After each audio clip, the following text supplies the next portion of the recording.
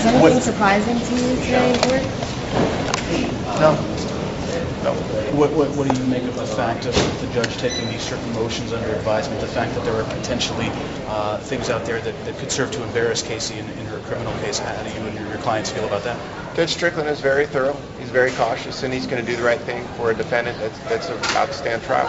So he'll make the right rulings. And uh, there is a lot of material that is totally irrelevant on both sides, both on my client's part and, uh, and on Casey's part. So that stuff has no business in trial, and I'm sure that it'll be excluded appropriately.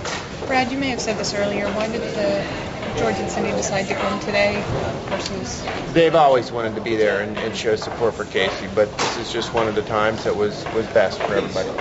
Are they going to start start being sort of regular appearance, not appearance, attend the the hearings? I'm not going to tell you that because every time I will get ambushed.